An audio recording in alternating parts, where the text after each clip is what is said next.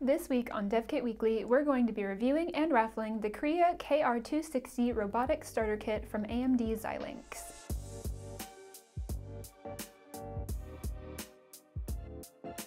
Despite being the scary stuff of movies for a while, robotics technologies have been rising in popularity across fields from industrial to medical and even consumer for years. When you're operating in factory environments, robotics and automation technologies can be especially useful for maximizing efficiency and flexibility, and that's precisely what the Kria KR260 Robotic Starter Kit from AMD Xilinx was designed for. The Kria KR260 kit, designed as a development platform for Kria K26 SOMs, is built around the EV variant of the Zynq UltraScale Plus MP SoC, which includes a quad-core ARM Cortex-A53 and dual-core ARM Cortex R5F, and blends real-time control with soft and hard engines for waveform, video, graphics, and packet processing. All of the Zynq UltraScale Plus MP SoC devices also include a 16nm FinFET Plus programmable logic, but what sets the EV variants apart is the inclusion of an H.264 and H.265 video codec, which is capable capable of simultaneous encode and decode up to 4K resolution at 60 frames per second. It's also worth noting that alongside that video codec is an ARM Mali 400 MP2 graphics processing unit. But back to the kit itself. One of the main highlights of this starter kit is the flexibility you get from programmability. It features 256,000 system logic cells and 1.2 thousand DSP slices, alongside 144 block RAM block and an additional 64 Ultra RAM block. There's also 4 gigabytes of non-ECC DDR4 memory,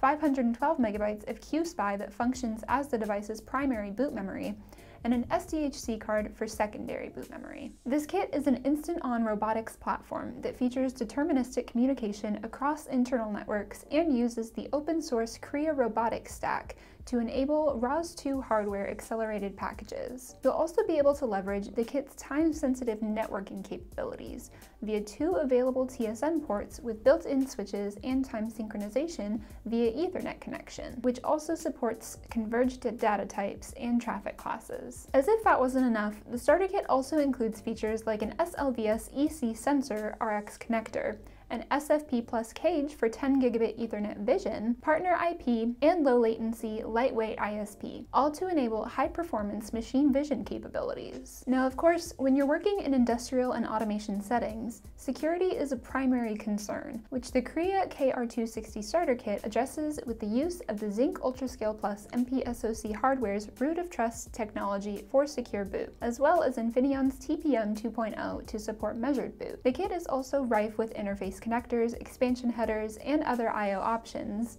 such as included RJ45 Ethernet ports, Wi-Fi adapters, and the PMOD ecosystem that all enable sensor and network connectivity. While the kit doesn't have a wide operating temperature range, it's 0 degrees Celsius to 35 degrees Celsius. It does include a heatsink and fan to help regulate its temperature. The Kria KR260 robotic starter kit is centered around ROS2, an open source suite of middleware for robotic software development but it also makes use of the capabilities found in Xilinx's Vitis Vision library and Vivado Design Suite for machine learning application development. In a nutshell, the Kria KR260 Robotic Starter Kit has a lot of elements, functions, and features that make it an excellent tool for roboticists and embedded developers to prototype robotics and industrial automation and control applications. If you're interested in getting one yourself, they're available on Xilinx's website for $349.